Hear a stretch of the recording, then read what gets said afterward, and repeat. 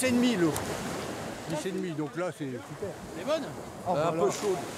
La prise de température effectuée, tout le monde s'est jeté à l'eau pour une bonne dose de sensation, quelques minutes seulement pour certains. Elle est un peu fraîche. Un peu fraîche, ouais. Ouais, ça pique, ça fait mal quand on rentre, mais on est content d'en sortir. Dans l'eau, des novices, mais aussi des habitués de ce rendez-vous de Noël un peu particulier. C'est le plaisir de se retrouver entre amis.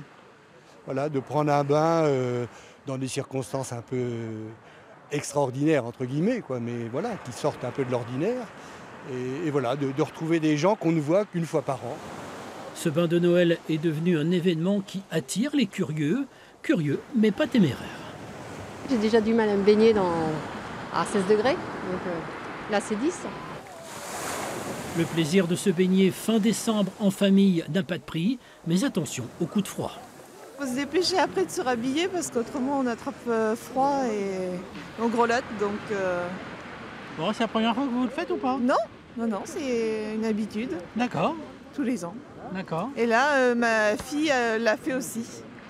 Bravo votre mari Oui. Et il a fait lui ou pas Non, c'est un dégonflé. Après l'effort, chacun a eu droit au réconfort du café ou du vin chaud. On a tous Parkinson là. Ah oui. On est tous malades.